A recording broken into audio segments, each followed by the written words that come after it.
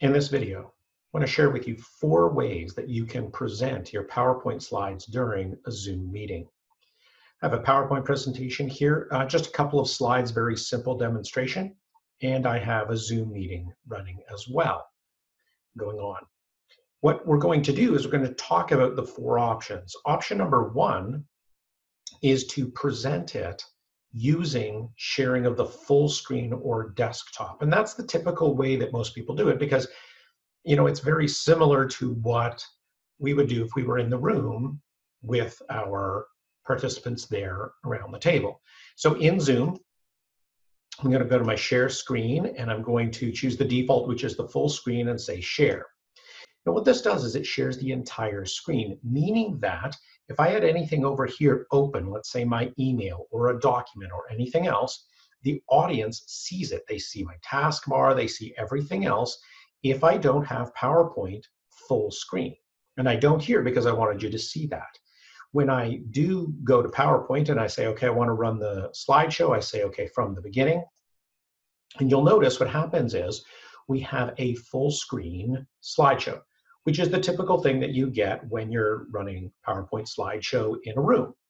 The screen is full and the slide is there. You'll notice that in Zoom, we have a couple of options. It's showing us the little video window. I've covered my camera here so it's not distracting.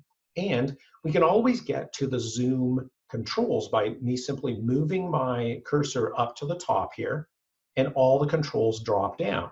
So I can change the sharing, I can do things with the video or the audio and more. Here's where I can see things like the chat if I wanted to see the discussion.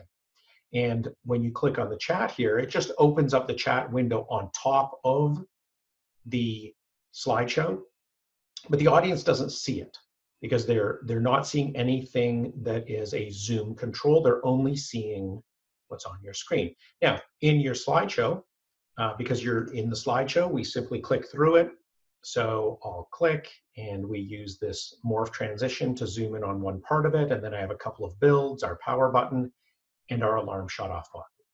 When I'm done, I'm at the last slide, click, it says end of the slideshow. I hit escape and I'm back to my regular PowerPoint. So the advantage there is it's the most similar to what you would do in a meeting room and you still have access to all of the, the Zoom controls. The, the challenge here is is that uh, you don't see the chat unless you turn it on. I would caution you though, because anytime you put that chat window on while you're presenting, it can become very distracting because your eye is drawn to that text as it's moving. And the temptation is you're going to try and pay attention to that chat instead of paying attention to what you really need to deliver to the audience. The uh, other disadvantage of this is again, they see everything on your screen before you're presenting unless PowerPoint is in that full screen mode. Option number two is to share just the slideshow window. Zoom, like many of the platforms, allows you to share just a window that you have open on your desktop. So my PowerPoint window is here, but it's not what I want to share. I want to share the slideshow window. So to do this particular option, what you do is in PowerPoint, you go into slideshow mode first. So I have the entire slideshow, the slide is showing, and then I'll use Alt Tab to go to the Zoom window. Now I go to the Zoom window and now I can share my screen. And what I have is I have options of which window to share here. You notice there's a PowerPoint window here, which is the normal editing view. But then this is the slideshow window. So you want to always make sure you select the slideshow window and then say share. And so what is now happening is, is that the audience is seeing your slideshow window, but they're not seeing anything else on your computer. So it's a little different from option one. They didn't see if there was anything else on your screen because you didn't share that with them. Now, because it is slideshow, we simply move through the slideshow as we would in a regular slideshow. Click, it does that morph transition, and we have our builds here. And when we're done, we simply hit escape. Now you'll notice that when you hit escape, you get this message from Zoom saying, hey, screen sharing has stopped because the shared window is closed. When you hit escape in slideshow mode in PowerPoint, it closes that slideshow window. Zoom, of course, can't share a window that is no longer open Hence, you get this message. So it's a good reminder to you, and nothing else is being shared now, so it goes back to the default video view. So this is a good option when you're sharing. Notice when we were doing the sharing, again, as it is with all the sharing in Zoom, all of your controls are available at the top of the screen. Option number three is to share the editing window of PowerPoint when it has been uh, sort of minimized or given a cleaner look. This is an option that you might consider if you don't have anything uh, that's animated, any, any transitions, anything really other than sort of static slides. This might be an option if you want to use the editing mode, especially if you may want to make some changes you're reviewing with people in the meeting.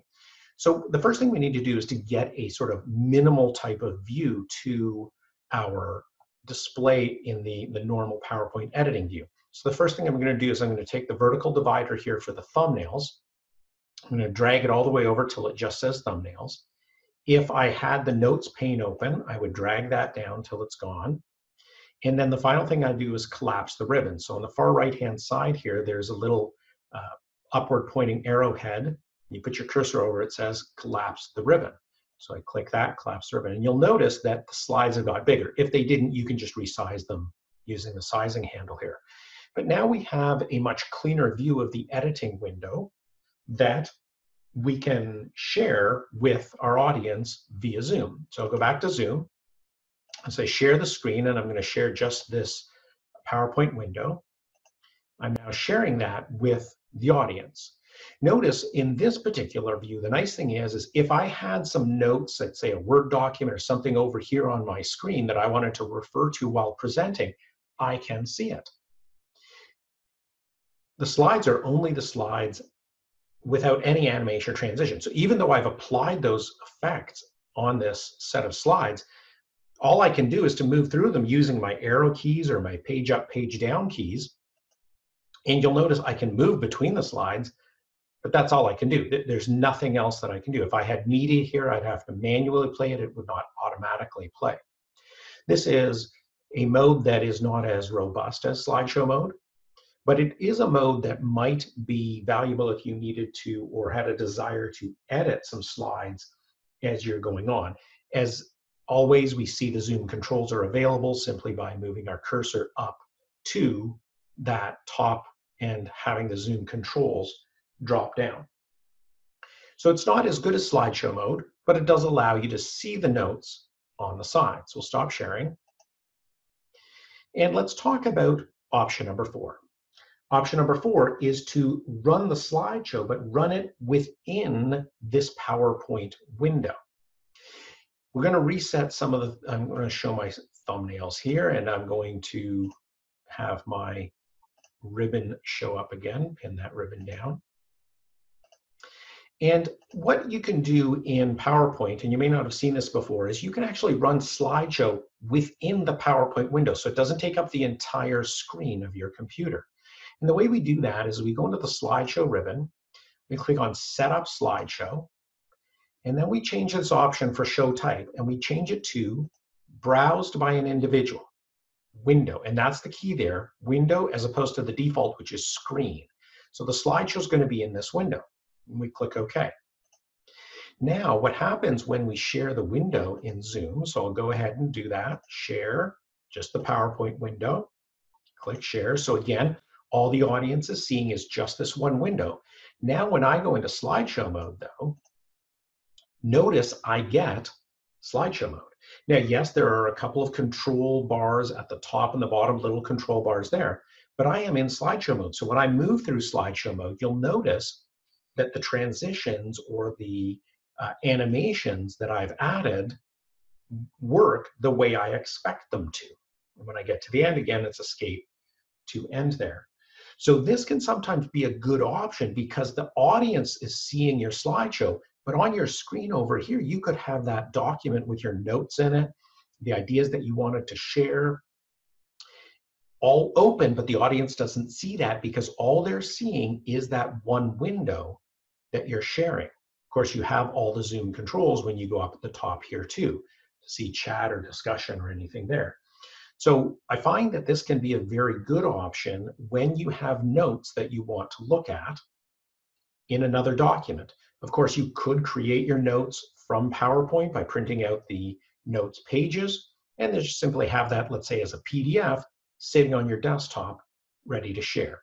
Whenever you're sharing a window, as in option three or option four, that can sometimes save on bandwidth because you're only showing showing a portion of your screen or sharing a portion of your screen through the internet. And so there's less bandwidth being taken by your sharing as well as by the participants having to take that in on their own screen.